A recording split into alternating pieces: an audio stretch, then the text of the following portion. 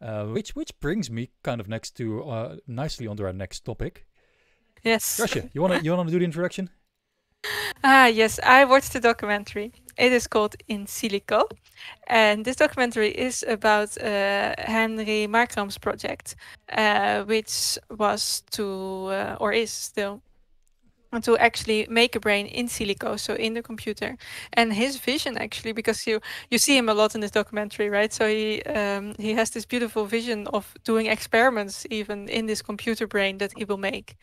Uh, and it's um, I know the, the documentary is very interesting to see because uh, like it's a it's a young documentary maker. I think he comes like directly out of college. He came into this project, and this was in like uh, oh no, it was must be 2010 or something like around 2010. Markram started this project, right? And he said, in 10 years, I will make a human brain in the computer. I will simulate the human brain. I, I Uh, think the uh, initial proposal was 2007, if I recall. Uh, Ah, somebody okay. in the chat, please correct me if I'm wrong there.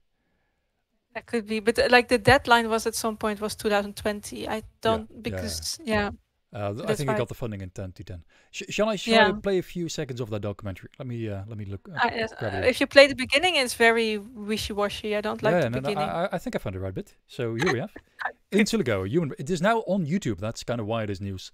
Um, you can Um, now go go and watch it. I will drop the link. I, uh, if you have, can you wait one second? totally different. Because I cannot see what what you're playing. That's okay. Uh, I will drop that link, Mhm. And then let's play. Our mission is to build a detailed, realistic computer model of the human brain. We have to embody all our data and all our knowledge into a working model.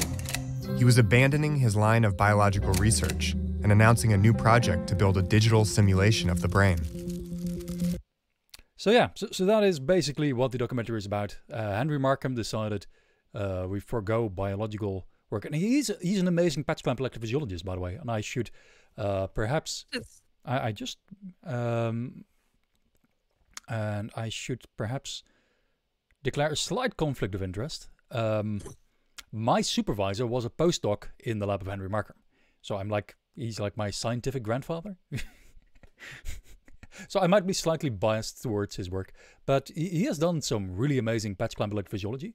Uh, they've built this 12 patch setup where you um, you have one brain and um, you take a brain slice and you can record. You put patch pipettes into eight different neurons at the same time, or 12 even. Uh, No, you wh- record all wh- the which isn't used all that much. uh, I, again, I, I heard this from my uh, PI.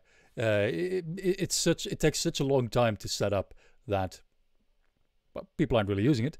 But um, I mean, still, like he, has done a lot of simultaneous patch clamp recordings in uh, many cells in the cortex and discovered many new properties of them. Really figured out how they work, how, they're connected.